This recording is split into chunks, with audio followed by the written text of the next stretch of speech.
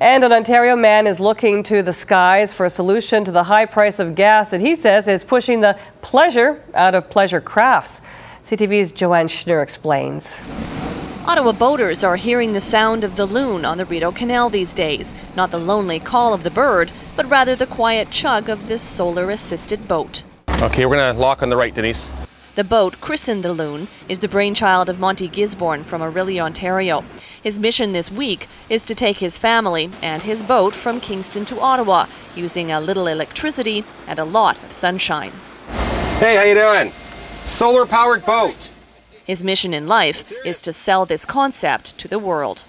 I quit my big high paying job in the city cashed in my RSPs. I think if people were given a choice between polluting and not polluting, we're intelligent people. We would choose not to pollute if we understood that the option existed and it was, uh, you know, it was, was cost effective. And that's exactly what this boat is. The cost of fuel is forcing many boaters to consider selling their pleasure crafts. Well, I haven't filled this one up, but I would assume if you wanted to fill it up from dry, you'd be looking at $1,300, $1,400. Gisborne says his boat may use 50 cents a day in battery power over and above what the sunshine provides. I think it's absolutely fantastic. I think everybody should be much more aware of, of you know how much power they use. You know, energy. The big big boats you know cost so much in energy. Gisborne's boats are drawing interest from here and around the world. He's sold to Central America and Mexico with an order from Australia. For now, though, he's just enjoying the ride.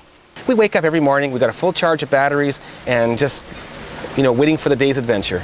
The Loon arrives in Ottawa on Friday. Gisborne has invited the Prime Minister and the Minister responsible for energy to meet him on the canal. So far, he hasn't heard anything back. Joanne Schnurr, CTV News, Merrickville.